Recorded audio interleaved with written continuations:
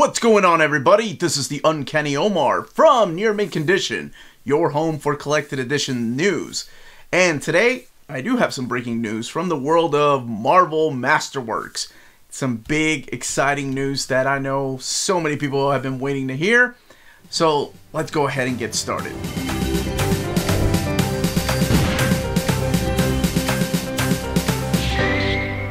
Video is sponsored by Marvel Comics, so thank you so much to David Gabriel and the fine folks at Marvel for sending us advance information on these particular books. Alright, so before getting started, don't forget to smash that like button, subscribe, ring that bell for notifications. Make sure you share the video, keep away from the comment section so you can be surprised, and then by after you watch the video, go ahead. Let us know your thoughts. Okay, so this particular announcement brings me a lot of joy because it's kind of been a thing uh, back and forth for a couple of years. Uh, fans have seen my videos and I've shown off the Marvel Masterworks. And by the way, if you're not familiar with the Marvel Masterworks, I've done videos on the different collected editions and focusing just on Marvel Masterworks. Uh, to me, they are the top tier, the best collected edition out there in the market. And for a lot of people, they feel the same way. However, Marvel hasn't really reprinted any of these. So for some people that have been wanting them or uh, wanting future volumes, they were kind of worried that Marvel would never reprint them. Well, worry no more because that's what this breaking news is. I'm talking about the Marvel Masterworks reprint starting next year, and I think they're dubbing it the Remasterworks. Uh, this is all because David Gabriel really heard a lot of people speak up and talk about how much they wanted to start collecting these. So they're going back to the beginning. So let's go ahead and get started with the release dates and the titles. Up first, coming out in May of 2023, is The Amazing Spider Man Volume 1, both the variant and the standard edition cover are going to be available for all of these, by the way, and they'll be over here to my right.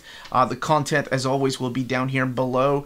Uh, collecting the Amazing Spider-Man 1 through 10 and Amazing Fantasy number 15. So that Steve Ditko and Stan Lee, where it all started introducing us to Peter Parker in 1962. And coming out in June of 2023 is the Marvel Masterworks The Fantastic Four Volume 1 collecting the first 10 issues of the Fantastic Four, and the retail price of this and Volume 1 of Amazing Spider Man are $75. Uh, 288 pages for this one. So, collecting the first appearance of Mr. Fantastic, uh, the Invisible Girl, the Thing, and the Human Torch, as well as Doctor Doom, the Skrulls, uh, the Mole Man, and of course, the return of the Submariner. And coming in July of 2023 is X-Men Volume 1, collecting the first 10 issues. So introducing us to Marvel Girl, Cyclops, Iceman, Beast, and Angel. Of course, all leading them is Professor Xavier. 288 pages, $75.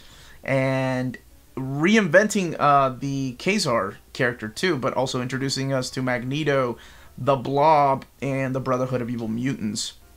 So this is uh, Stan Lee and Jack Kirby that one comes out in July and coming out in August of 2023. The Avengers. So this will be volume 4 of the Marvel Masterworks, but volume 1 of the Avengers. Collecting the first 10 issues of the Avengers. Uh, Jack Kirby, Don Heck, and of course Stan Lee. Uh, putting all the characters together into one comic of the Incredible Hulk, the Mighty Thor, Iron Man, Ant Man, the Wasp, all brought together because of Loki. And then, of course, you have the return of Captain America in this particular volume. And coming in September, The Amazing Spider Man Volume 2.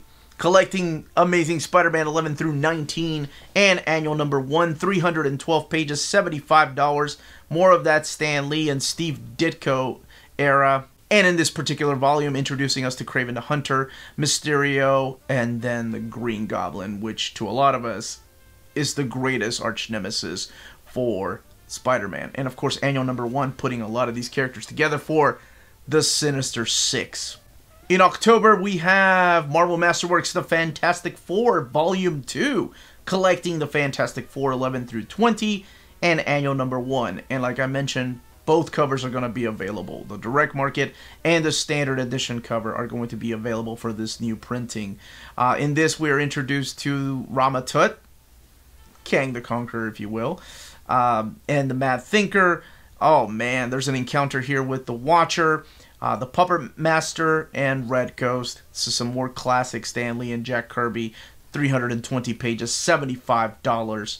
Coming in November of next year is X Men Volume 2. So, collecting issues of X Men 11 through 21, 256 pages, $75.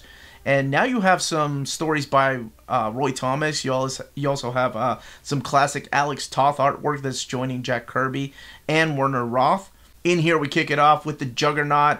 We have the Stranger that comes in, Mimic, and then the there's a three-part story arc in here with the Sentinels. And to wrap up the year as far as new printings of Marvel Masterworks, this is, by the way, not going to affect the ongoing new Marvel Masterworks. This is just the new remasterworks or reprints of the Masterworks that are coming out uh, because of you all. You all said, hey, I wanted to start collecting these, but it's impossible to find them. Well, not anymore. Well, not as far as next year is concerned, not anymore after that. But here we have The Incredible Hulk Volume 1, collecting the first six issues of The Incredible Hulk. This one's 184 pages, $65. Uh, Jack Kirby, Stan Lee, and Steve Ditko introducing us to the characters of General Thunderbolt Ross, Betty Ross, Rick Jones, and of course Bruce Banner that becomes the Incredible Hulk. Um, so if you've been paying attention to this list and the way that they're releasing them, this is the exact same order that these were released when they first came out in the late 80s we're going for the first eight volumes of the Marvel Masterworks in the chronological order that they were released when they came out. In I think it started in 1987, if I'm not mistaken. Uh, so if they continue and they see a success in this, the next book will be Avengers Volume Two, and then Spider-Man Volume Three, I think. Um, and then I think they move on to Uncanny Volume 1, and they go back and forth and they start adding new titles. So, yeah, this is a very exciting uh, breaking news for me because for as long as I've been doing breaking news, none of the Masterworks line has ever been reprinted. And I think that it, this was a big decision by David and his team to do this. So, there you have it. If you've ever wondered about the Marvel Masterworks line, if you've ever wanted to check it out, but you were like, oh, there's no volume one and two, now's the time. Now you can go get the future volumes that are in stock and hope they'll reprint them all the way uh, until you get caught up. But remember, uh, these start coming out next May. Don't forget to pre-order these books as soon as they're available for pre-order. Uh, if you have any questions, comments, leave your questions and comments down below. Let me know. Let us know what you think about uh, the reprints here. And again, it's not going to affect the new books, the new Marvel Masterworks that are coming out next year.